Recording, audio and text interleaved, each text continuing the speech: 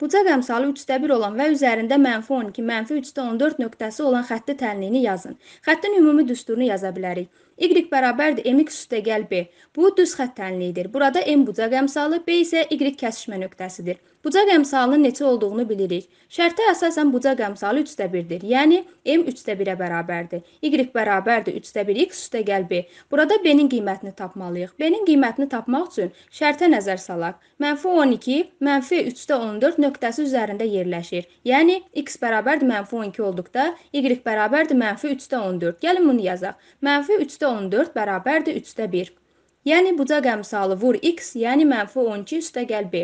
x bərabərdir mənfi 12 olduqda y bərabərdir mənfi 3-də 14. Bucaq əmsalı 3-də 1-ə bərabərdir. Bu m-in qiymətidir.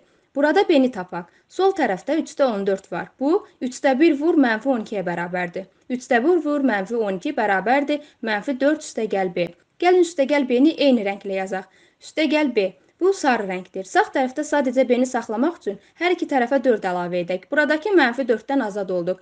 Hər iki tərəfə 4 əlavə edirik. Üstəgəl 4, sağ tərəfdə sadəcə b qalır. Sol tərəfdə isə 4 var. Bunu yenidən yazaq. Mənfi 3-də 14-ə 4 əlavə etməliyik. Ortaq məxrəc tapaq. 4 3-də 12-yə bərabərdir. 4 bərabərdir 3-də 12 çıx 3-də 14. Gəlin bunu aydınlaşdıraq. 4-ü 3-də 12 kimi yazdıq. 3-də 12 çıx 3-də 14 və ya mənfi 3-də 14 üstəgəl 3-də 12. Ortaq məxrəc 3-dür. Buraya 3 yazırıq. 12 çıx 14 bərabərdir mənfi 2, mənfi 3-də 2 bərabərdir b alınır.